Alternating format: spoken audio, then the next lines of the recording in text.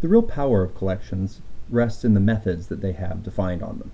And Scala defines a lot of methods on the collections that are part of it. If we look in the API and, for example, go to list, which is in Scala collection immutable, we can scroll through all the methods that are there. Now, you can go and read up on these. We're going to just hit a few of the major ones that you probably need uh, to know in order to, to make basic usage. We're definitely not going to cover everything that's in this full list because it's much too long of a list. So we'll start off. Let's go ahead and because I'm going to be using it a lot, I'm going to make an array called A and all the methods that I'm talking about here will work just as well. They're defined equally well on both array and list.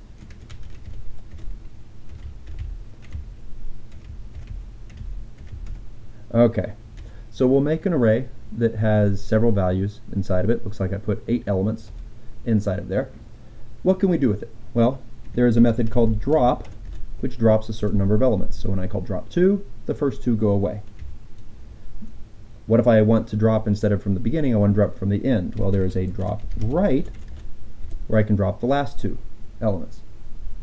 If I only want the first element, that is called the head.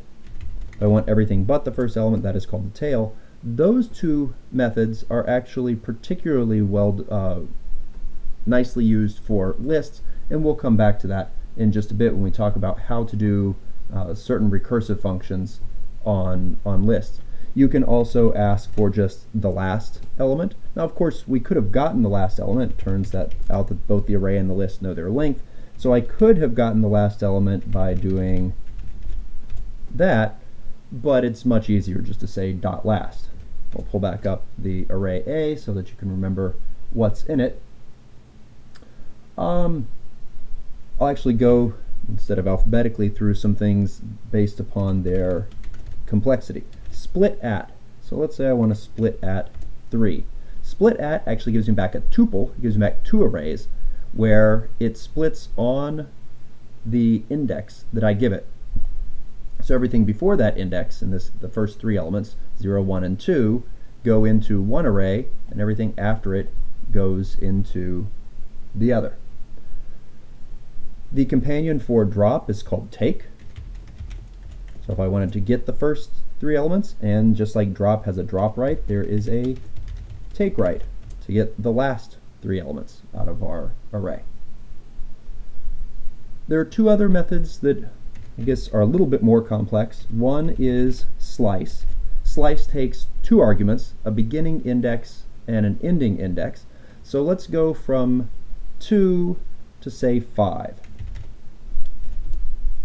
Notice that I only got three values here. I got the thing at index 2, index 3, and index 4. I do not get the in thing at index 5. The second argument to slice is an exclusive bounds. It's actually very common in libraries that the first index is inclusive and the second index is exclusive. There's also a method called patch. So patch, now one thing to note here, none of these affected A. All, and in part because they work on lists, remember lists are immutable. No method can change the contents of, of a list because that would make it uh, not immutable. All these methods, because they work on both arrays and lists, they actually give us back a completely new collection that, that was built. So patch takes an index that you want to begin patching at. It's basically going to replace some segment of your collection. So let's say I wanted to uh, replace the 582. Well, that starts at index 3. And then you give it an argument for what you want to replace it with. How about I replace it with 98, 99. And I want, I said I wanted to replace 582, so I'm going to get rid of those three elements and replace them with just those two elements.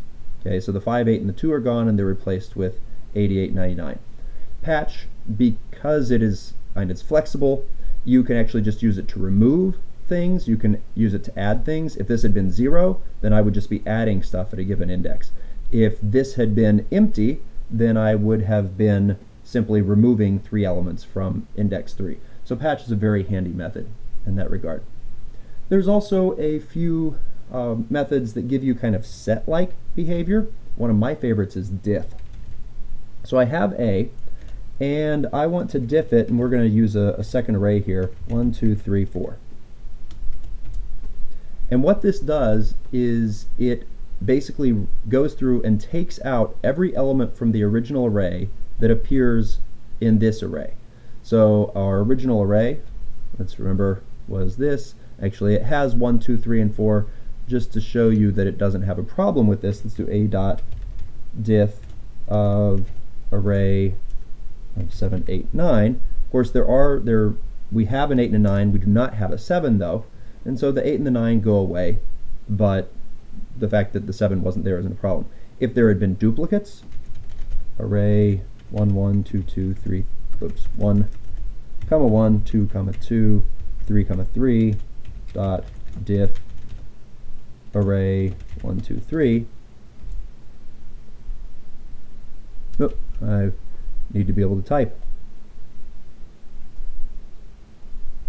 ff of array 1, 2, 3. It only takes out one of the ones, one of the twos, one of the threes. It takes out the, the first one that it comes across. So that's a, a handy method for, for getting the difference between two collections. There is also a method called distinct. So if I have an array, this won't work on our original one because everything was unique in it.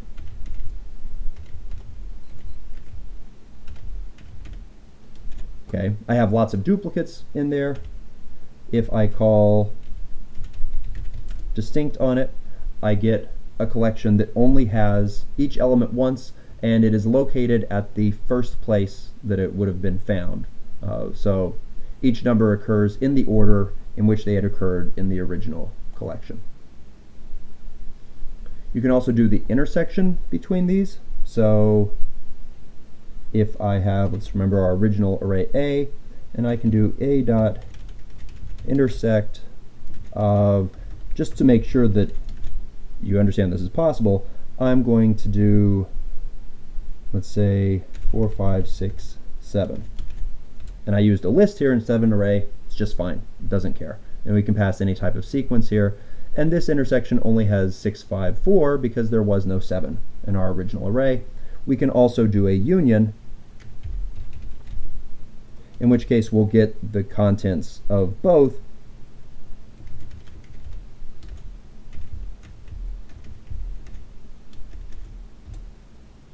like that. And in this case, it just appends them to, to the end. So we actually do get duplicates. It's not like a, a standard set. Some other methods that are handy to use, and now these only work with certain types. For example, integers are things like min and max. So a dot min, smallest element's 1, a dot max, the largest element was 9. a dot sum gives us the sum of the elements. a dot product gives us the product of all the elements. A dot sorted will give us back a new collection, having them in sorted order. A dot mk string. This actually has uh, three different versions. So the default one just makes the string and sticks all the values together. A lot of times you don't want that though. For example, maybe I want them to have commas between them so that it looks a little bit nicer. Okay? I can do that by passing a single argument that is the delimiter that I want between them I could also pass in three arguments. The first one is something to put before, so maybe I want to put these inside of brackets. Then I get my delimiter, and then I can put the string that I want after. Mm, had a bad feeling I was going to mess that up. Oh, there we go. Didn't need two sets of parentheses. Okay, so that's mk string the last two methods that I want to, to look at here are in some ways, and maybe they're a little bit more complex, but they're remarkably useful in certain situations. One is called zip, and when you picture what zip does, think of a zipper. So I want to take my original array, and I want to zip it with another array. Actually, let's just do, how about we do this? A to Z. I'm going to use a range here. And what happens is it goes through, take the first number and combine it with an A. So we get back, instead of, we had an array here, we had a range here, I get back a single array that has a bunch of tuples. So the first element is paired with the first element, the second element is paired with the second element, etc., etc. Notice that it stops when it gets to the end of either one. So whichever one of these was shorter, in this case array is shorter than A to Z, but I could also have done this, in which case A to C is shorter, so I only get the elements, the first three elements there. The other method is called zip with index. And that's really just doing a zip, but instead of having to provide another collection, it's using the indices of the values. So I get each value and its index in these tuples that go through. So that's a set, uh, that's kind of an overview of some of the methods that are provided, kind of simple methods. We're going to talk more about some of the more complex methods, what are called higher order methods, that provide you a whole lot of power as far as being able to do interesting things with your collections.